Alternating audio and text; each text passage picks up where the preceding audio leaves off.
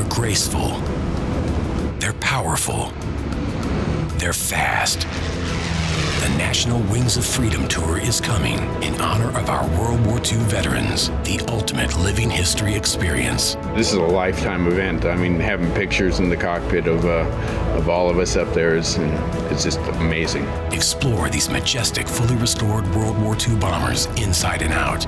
This is a rare chance to touch, hear, and smell true aviation history.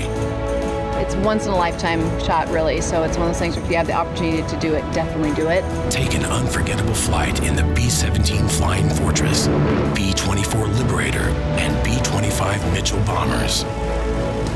Even get a little stick time in the world's greatest fighter, the P-51 Mustang. For more information, visit collingsfoundation.org. History lesson you will never forget.